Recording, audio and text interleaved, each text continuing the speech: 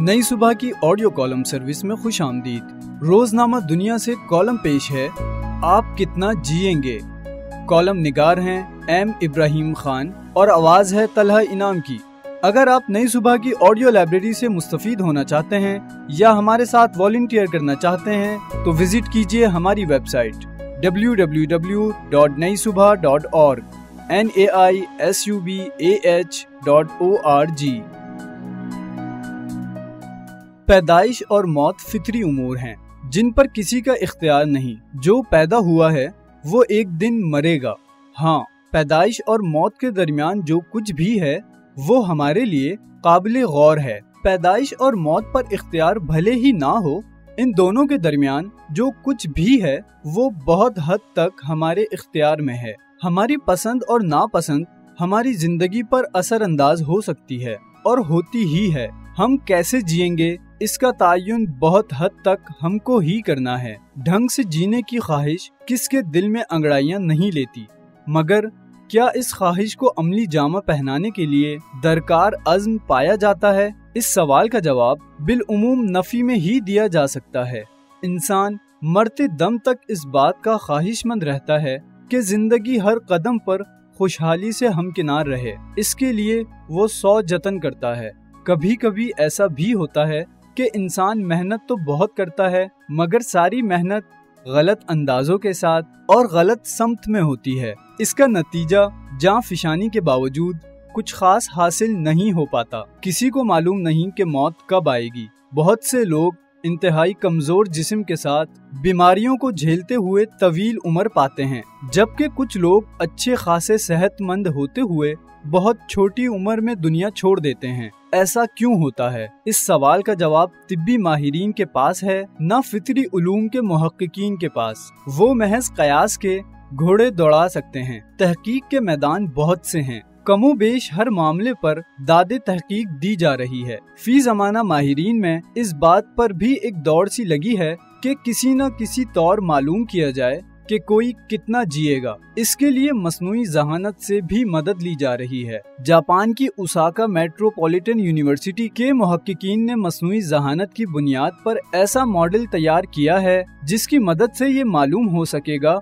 कि कोई कितना जिएगा। ये काम सीने के एक्सरे की मदद से करने की कोशिश की जा रही है। The Lancet Healthy Longevity journal में शाया होने वाले एक मकाले में उसाका मेट्रोपॉलिटन यूनिवर्सिटी के मुहक्कीन ने बताया है कि किसी भी शख्स की उम्र जितनी ज़्यादा हो सकती है, उसके बीमार पड़ने का इम्कान भी उतना ही तवाना होता है। ग्रेजुएट स्टूडेंट और मकाले के मुसन्फ यासू एच मैथसियामा कहते हैं कि मसनू जहानत के मॉडल की बुनियाद पर तय होने वाली हकीकी उम्र सेहत से मुतालिक मामला की बेहतर तशरीह में मदद कर सकती है। माहिरीन, दरअसल ये जानने की कोशिश कर रहे हैं कि किसी भी इंसान को कौन कौन से खतरनाक अमराज लाक हो सकते हैं। खून, टिश्यू और हड्डियों के गुदे के तजिए से मुस्तकबिल में लाक होने वाली बीमारियों के बारे में थोड़ा बहुत ज़रूर जाना जा सकता है। ये बात 2008 से 2011 के दौरान मुख्तलिफ़ हस्पतालों में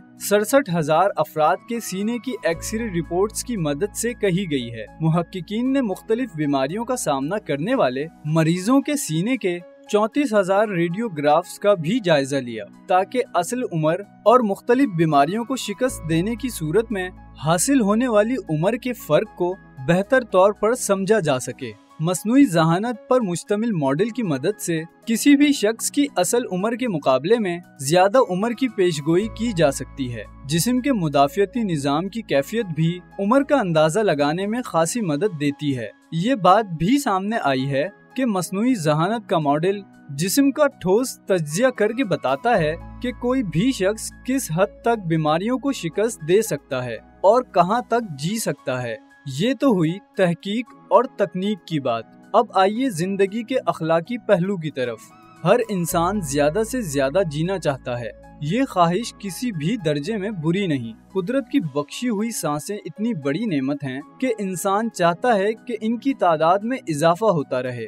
हमें कब तक जीना है, ये तो खुदा को ही मालूम है। मगर हाँ हम यही चाहते हैं कि ज़्यादा से ज़्यादा जिए, ताकि दुनिया की रंगीनियों से महजूज होते रहें।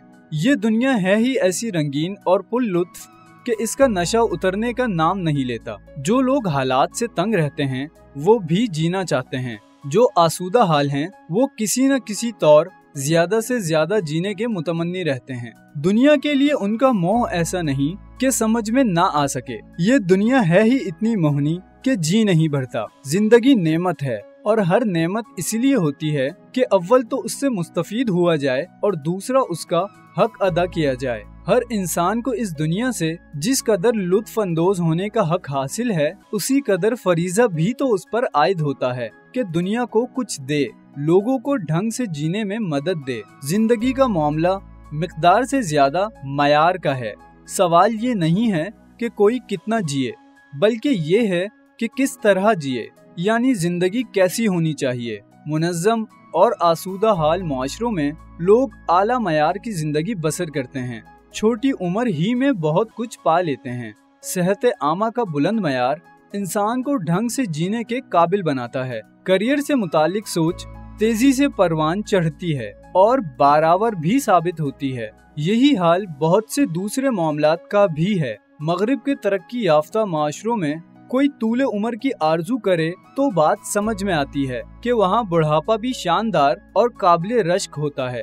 ऐसे में चंद लम्हात भी मुकम्मल ज़िंदगी जैसे लगते हैं। जब आसूदगी हो, बुनियादी सहूलतें भी फरवानी से मैसर हों, शानदार तर्ज रिहाइश मुमकिन बनाई जा चुकी हो, सेहत आमा का मैार काबिल रश्क हो, तब इंसान बिल्कुल उमूमी सतह पर भी खासा खसूसी होता है। दूसरी तरफ़ पसमानदा माशरों में तूले उम्र की ख्वाहिश अजीब लगती है।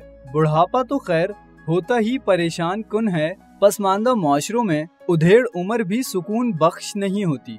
हम अपने माशरे ही देख लें तो अंदाज़ा होता है कि बुढ़ापे के साथ साथ उधेड़ उम्र भी सुहाने रूह होती है। ऐसे में तूले उम्र किसी ने खूब कहा। अब और तूले उम्र की मुझको दुआ न दो। जुर्म वफा की ऐसी कड़ी तो सजा न दो। बात यह है कि जब हालात परेशान कुन हो तो इंसान मौत की तमन्ना किए बगैर महज इस बात पर राज़ी रहता है कि जितनी लिखी है, बस उतनी ही गुजर जाए तो अच्छा है। ऐसे में तूले उम्र की तमन्ना कोई क्यों करे? ऐसे में कोई तूले उम्र की दुआ करे? तो दिल में यही ख्याल उभरता है कि हाँ वही लोग हैं दरअसल हमारे दुश्मन, जो हमें उम्र दराजी की दुआ देते हैं। दुनिया भर में माहरीन तूले उम्र यकीनी बनाने के लिए कोशा हैं। जापान और चीन में सादा तर्ज ज़िंदगी इख्तियार करने की बदौलत औसत उम्र बढ़ती जा रही है और वहाँ 80 या 100 साल से जायद जीने वालों की तादाद बढ़ती जा रही है। यूरोप में भी औसत उम्र माकूल है और लोग बुढ़ापे से भी बहुत हद तक महजूज होते हैं। तरक्की याफ्ता माशरों में बुढ़ापा अच्छा गुजर सकता है। पसमानदा ममालिक का मामला इसके बरअक्स है। यहाँ तो औसत उम्र पूरी कर पाना भी आग का दरिया पार करने जैसा है। जहाँ बुनियादी सहूलतें ढंग से मैसर ना हो, वहाँ कोई बड़ी उम्र पाकर क्या करेगा? ज़िंदगी अगर बामकसद हो तो कुछ है, वरना नहीं।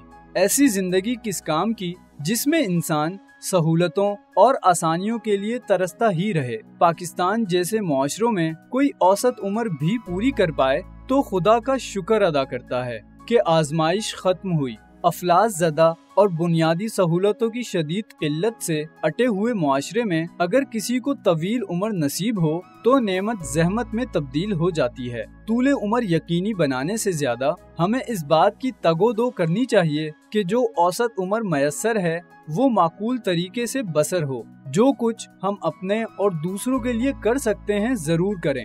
अगर इतना हो सके तो पचपन या साठ साल की उम्र भी काफ़ी है। और अगर ऐसा ना हो सके तो फिर सौ साल तक भी जीने का क्या फ़ायदा?